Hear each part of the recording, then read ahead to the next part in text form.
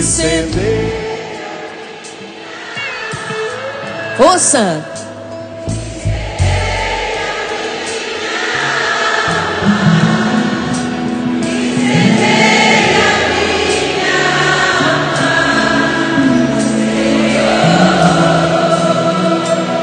Vamos nesse momento agora estender as nossas mãos para o Padre Fábio, pedindo também que sobre ele o Senhor derrame o Espírito Santo, incendiando seu coração, a sua mente.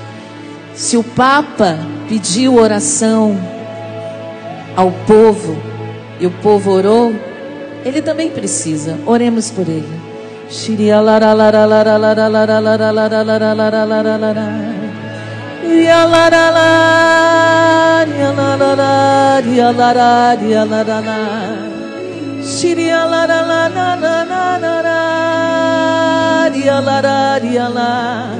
Shiria la la nya la nya la nya la. Oria la la la nya la nya la. Iria la la nya la la. Nesse dia, ó Virgem Maria, entregamos aos seus cuidados toda a vida dele. Ave Maria, cheia de graça, o Senhor é convosco. Bendita sois vós entre as mulheres, bendito é o fruto do vosso ventre, Jesus. Santa Maria, Mãe de Deus, rogai por nós, pecadores, agora e na hora de nossa morte, desocupando os corredores como estávamos fazendo com toda a obediência. Sentemos, quem pode sentar, e cantemos. Incendeia.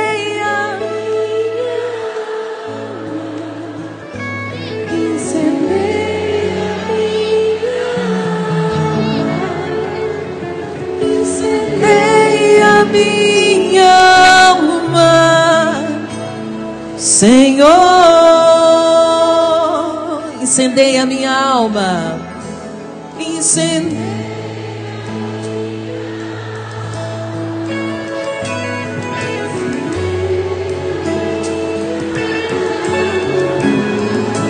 Incendeia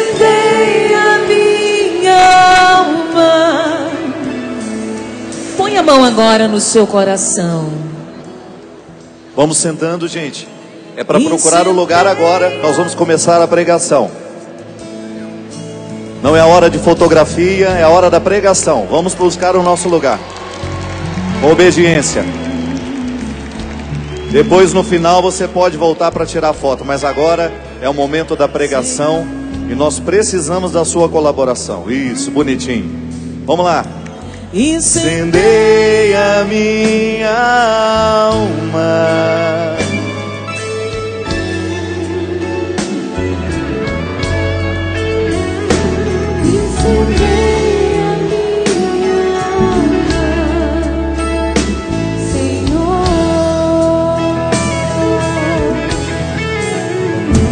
Incendeia minha alma. Incendeia minha alma. Incendeia minha alma. Senhor. Só vocês. Bem suave. Fechando os olhos. Incendeia minha alma. Isso, meu povo.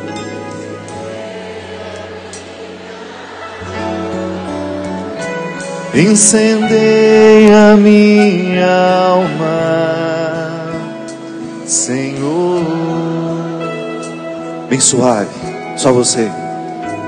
Incendeia minha alma.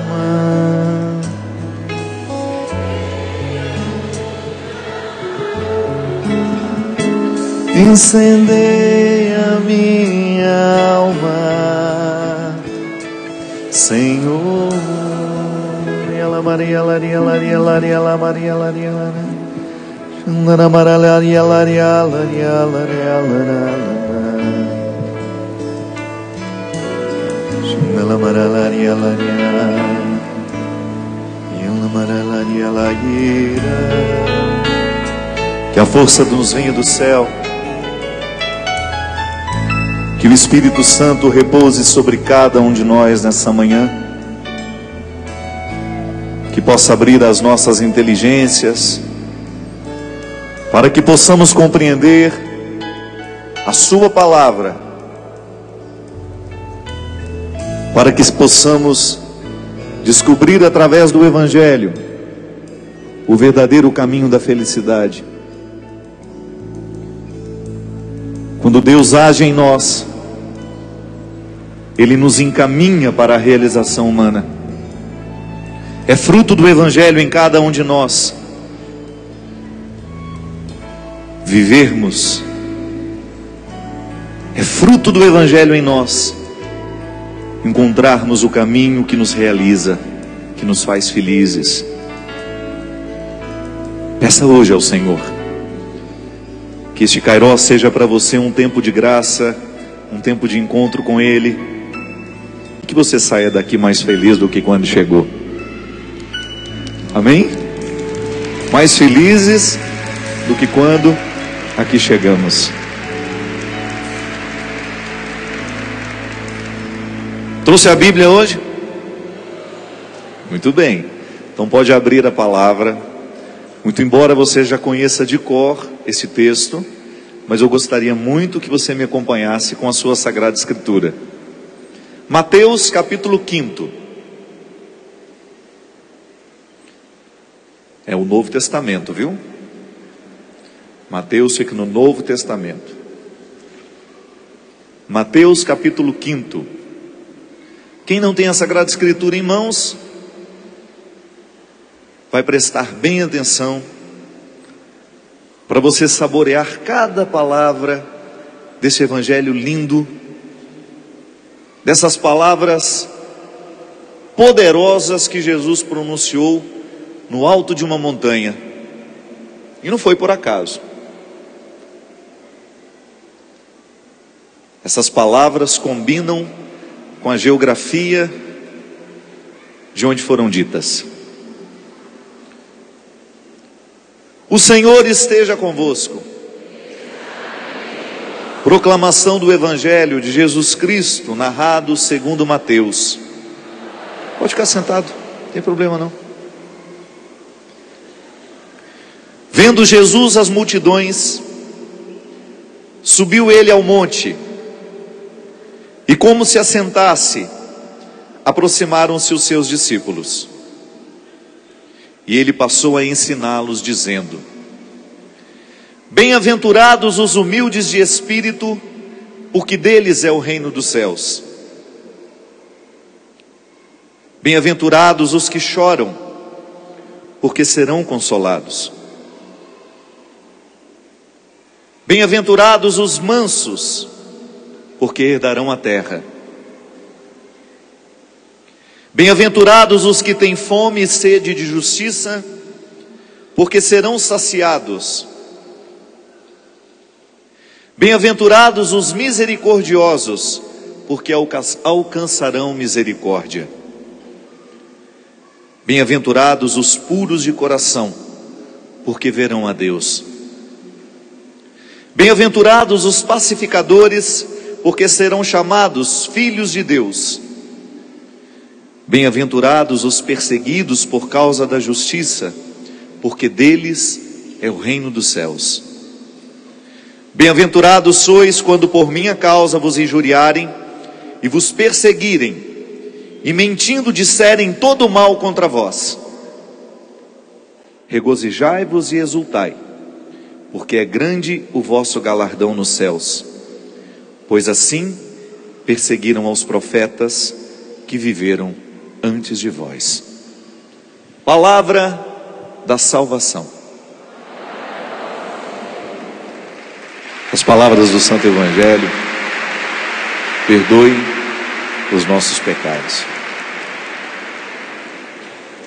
A vida nos ensina que não tem receita mágica para ficar feliz, né? Aliás, enquanto a gente cantava essa música pedindo ao Senhor que nos curasse, onde que estão essas crianças nessa barulheira, gente? É aqui entre nós ou lá no fundo? Se alguém está perto delas, pede para elas falarem mais baixinho. Isso, ó, já resolveu. Pô, ordem na paróquia, senão o negócio fica bagunçado. As crianças serão muito bem-vindas. Eu sempre gosto de dizer isso. As crianças serão muito bem-vindas nos acampamentos de adultos, desde que elas estejam monitoradas por adultos responsáveis que não deixem elas perturbarem aqueles que vieram para viver o acampamento. Concorda comigo? Sempre eu gosto de criança, mas a gente sabe que criança no lugar errado, ela tira a nossa atenção. Gente, eu tenho tanto zelo pela pregação, eu tenho tanto zelo pela oportunidade que nós temos de estar aqui juntos, que eu vou fazer de tudo para que você fique com condições de o Espírito agir na sua vida. Isso é uma responsabilidade nossa, é uma responsabilidade da canção nova. Nós precisamos zelar pelo nosso ambiente para que o Espírito Santo tenha condições de agir em nós. E a quietude, o silêncio, fazer as coisas do jeito certo é a gente colaborar humanamente para que Deus tenha oportunidade de agir em nós. É igual quando a gente vai à missa, que as crianças ficam correndo ali na frente, aquilo distrai. Se se dispuseram a ir, então terão de viver a disciplina do lugar. Para isso existe a missa das crianças, onde elas poderão, né? Eu sei que o desafio é grande, mas nós vamos vencer. Mas a gente dizia que não existem fórmulas mágicas para a gente ser feliz. E enquanto a gente rezava, a gente pedia que Deus nos curasse, que nos libertasse de tudo aquilo que precisa ser libertado e curado em nós. Sabe, minha gente, eu tenho. No mundo em que nós vivemos, no contexto em que nós vivemos, nós precisamos ser curados, primeiramente, a respeito do que nós consideramos ser feliz. É uma cura. É interessante porque a conversão, eu já cansei de falar isso para vocês, a conversão é a substituição de pensamentos antigos por pensamentos novos. Mas qual é a novidade que substitui o que é antigo? É Jesus. Nós somos filhos do Antigo Testamento que foram rebatizados, né? Rebatizados não, que foram mergulhados na vida nova de Jesus. Então, nós somos então, desde Jesus, os filhos do Novo Testamento. A novidade que veio para substituir o que é antigo é Jesus. São Miguel Arcanjo, defendei-nos no combate. Sede nosso refúgio contra as maldades e as ciladas do demônio. Ordena-lhe Deus, instantemente o pedimos. Incendeia minha alma, incendeia minha alma, incendeia minha alma, Senhor. Que a força nos venha do céu. Que o Espírito Santo repouse sobre cada um de nós nessa manhã. Que possa abrir as nossas inteligências, para que possamos compreender a Sua palavra, para que possamos descobrir através do Evangelho o verdadeiro caminho da felicidade. Quando Deus age em nós, Ele nos encaminha para a realização humana. É fruto do Evangelho em cada um de nós. Vivermos. É fruto do Evangelho em nós. Encontrarmos o caminho que nos realiza, que nos faz felizes. Peça hoje ao Senhor